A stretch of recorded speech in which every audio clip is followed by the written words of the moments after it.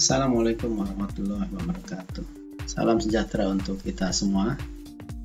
Sejawat tenaga kesehatan di mana pun Anda berada, ada kabar gembira dari Majelis Tenaga Kesehatan Indonesia atau MTKI dan Sekretariat Konsil Tenaga Kesehatan Indonesia atau KTKI terkait dengan STR, di mana pemohon STR mulai 1 Juni 2021 telah dapat mencetak sendiri STR-nya di lokasi masing-masing. Mau tahu apa dasarnya dan bagaimana caranya? Terus tonton video ini sampai selesai. Tentu sejawat semua sudah tahu alamat website KTKI. Tinggal diketik saja di URL-nya ktki.mkes.go.id lalu enter. Inilah website KTKI kemkes.go.id. Di samping kanan bawah ini terdapat menu aplikasi STR online versi 2.0 yang sudah sangat familiar Anda kenal. Informasi yang akan disajikan dalam video ini adalah berita baru terkait dengan telah dapatnya pengusul ESTR mulai Juni 2021 telah dapat mencetak STR secara mandiri di masing-masing lokasi sejawat semua. Berikut ini videonya. Sejawat semua, baru-baru ini MTKI dan KTKI mengeluarkan surat edaran nomor KT 0502 garis miring 1 garis miring 3326 garis miring 2021 tentang penerbitan surat tanda registrasi elektronik atau ESTR. Apa yang menarik dari surat edaran ini? Mari kita lihat.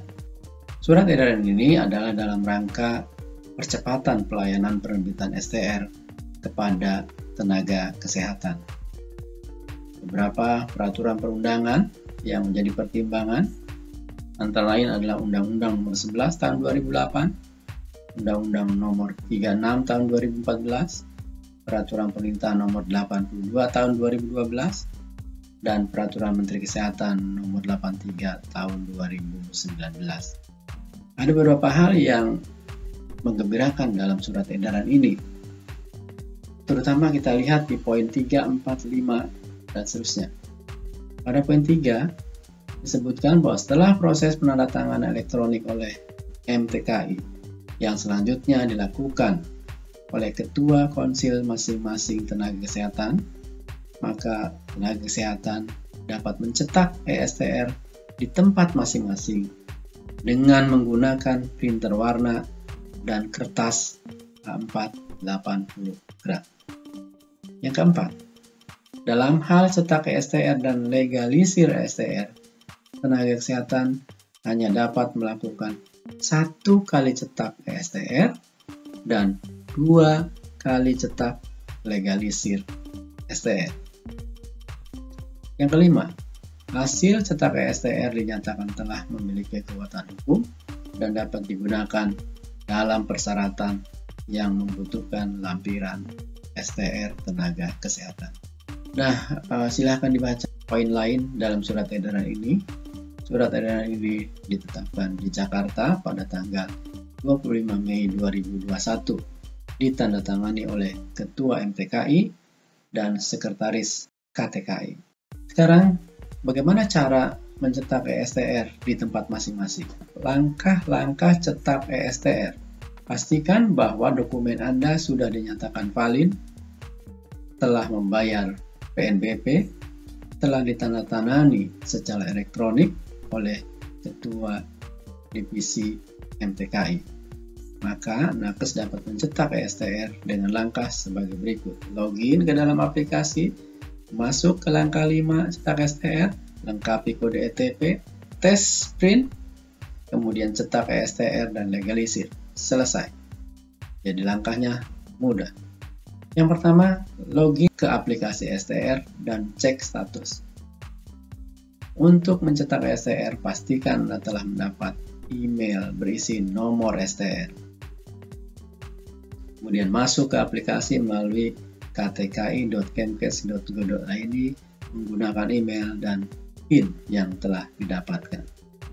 Pastikan perangkat komputer atau laptop yang digunakan sudah terhubung dengan mesin pencetak atau printer berwarna dan menggunakan kertas A4 80 gram. Kemudian pilih menu cek status. Ya, perhatikan ikon tombol cek status. Berikutnya tahap 2 adalah masuk ke langkah 5 yaitu cetak STR. Setelah usulan registrasi STR masuk langkah 5, kemudian klik cetak STR untuk melakukan cetak dokumen ESTR satu lembar dan dokumen legalisir dua lembar. Ini tombol cetak ESTR. Langkah 3, lengkapi kode OTP. Masukkan kode OTP ke halaman uh, yang ada di aplikasi STR. Saya beri contoh. Contoh OTP yang dikirim ke email pemohon. Ini adalah contoh OTP. Kemudian masukkan ke dalam halaman aplikasi STR. Kode OTP akan dikirim ke email pemohon berupa 6 digit dan hanya berlaku selama 5 menit.